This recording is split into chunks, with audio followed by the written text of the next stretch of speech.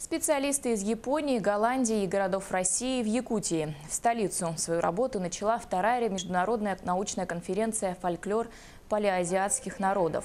Четыре дня активной работы в рамках мероприятия позволят участникам обсудить вопросы этнической истории, песенной, музыкальной и обрядовой культуры и традиционной космологии.